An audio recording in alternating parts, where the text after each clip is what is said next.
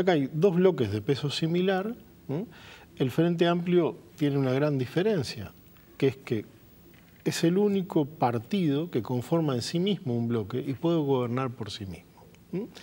El otro bloque está gobernado, en todo caso, por una multiplicidad de partidos, los dos grandes partidos tradicionales y eventualmente otros partidos, que tendrían muchas más dificultades de articulación para gobernar. Pero además se da fenómeno muy interesante. Si bien los barrios de Montevideo votan de manera heterogénea, esto ya ocurre desde hace tiempo.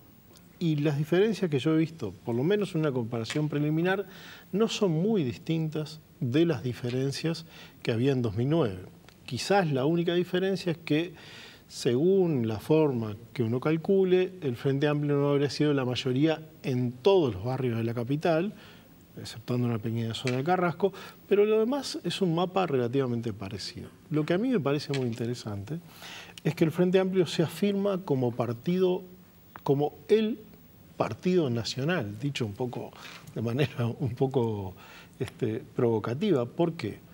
Porque es el partido que gana en la amplia mayoría de los departamentos. 14, ganó en 14 departamentos, perdió en 5. No sale tercero en ninguno de los departamentos. Y además, según entiendo, es el único partido que tiene legisladores por todos los departamentos. Que también eso es una cuestión bien interesante. Entonces, si uno empieza a mirar esto, ve que lo que ha habido en la última década es una consolidación muy importante del Frente Amplio en el interior del país, lo cual implica un país más equilibrado, si se quiere, en términos de voto, porque el Frente Amplio era un partido que comienza siendo un partido que es casi el doble en Montevideo de lo que es el resto del país y a lo largo de su historia va equilibrando eso, llegando a una situación en la cual hay diferencias entre Montevideo interior pero el Frente Amplio pasa a ser la mayoría en la mayor parte de los departamentos del interior del país. Sí, si tomamos el interior, el Frente Amplio está ubicado en 44%, eh, el Partido Nacional en un 34%. Si vamos a Montevideo, el Frente Amplio está en 53 por y medio, de ahí que el promedio este, sea 47 con, con 8. Eh, pero evidentemente el, el principal crecimiento del Frente Amplio es el interior y eso amortigua la pérdida de votos que ocurre en Montevideo. Exacto, pero ya había pasado eso en el 2009. En el 2009 el Frente Amplio había caído en Montevideo, había perdido en el entorno unos 5 puntos en Montevideo, quiere decir que su caída incluso puede ser un poquito más moderada de, la elección del 2014 de 2009, y había crecido en el interior. Entonces acá hay, hay un elemento interesante que es ¿Por qué crece sistemáticamente el Frente Amplio en el interior en la última década?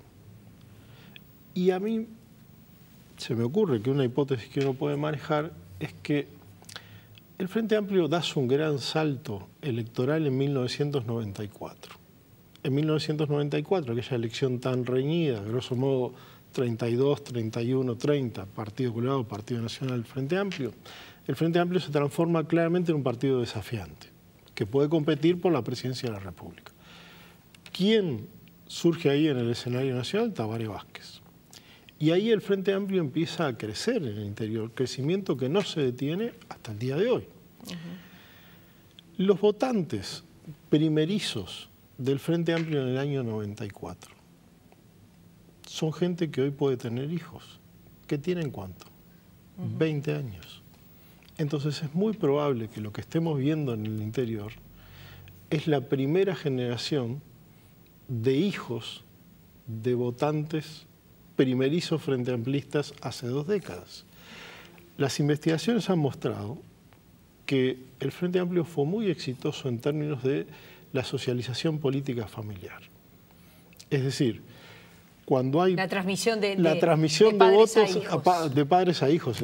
Es probable que esa transmisión se esté debilitando un poco en Montevideo, pero se esté fortaleciendo en el interior. ¿Y qué es lo que ocurre?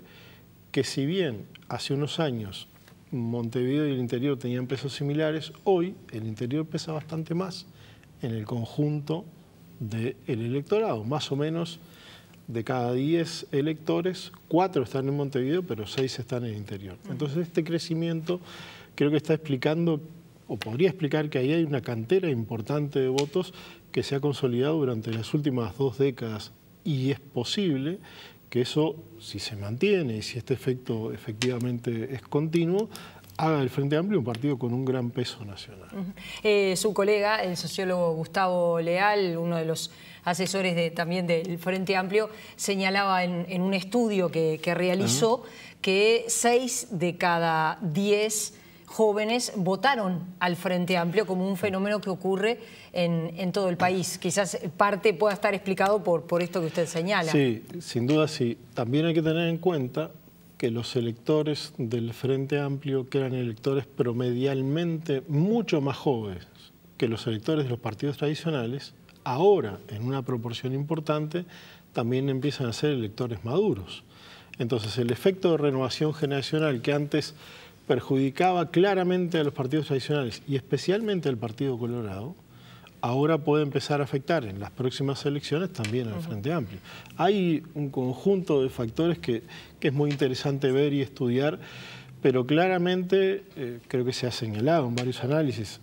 En las últimas cinco décadas es eh, prácticamente el primer partido que repite eh, tres, puede repetir tres gobiernos consecutivos, el primero que va a tener tres mayorías parlamentarias propias si se confirma ese triunfo. Por lo tanto, esto es un fenómeno nuevo en el país y es efectivamente un cambio muy radical en términos de las estructuras clásicas de los apoyos políticos.